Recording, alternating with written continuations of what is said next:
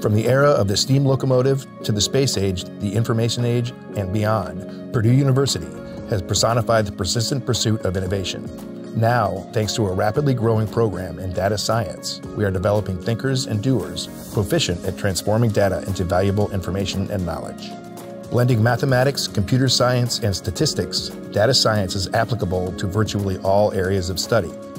Its broad relevance has increased the need for highly skilled graduates in almost every field, including healthcare, manufacturing, agriculture, and transportation.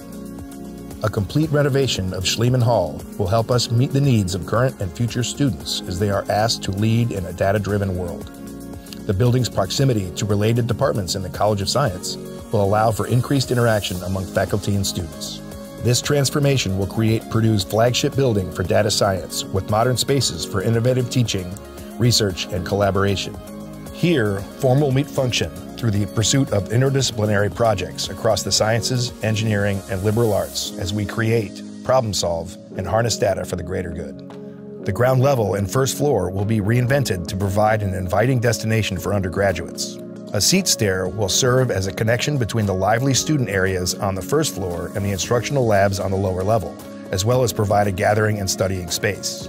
Its cascading bench style seats will lead to an undergraduate commons containing ground level focus rooms, computer teaching labs, and structured group space where students can work in teams.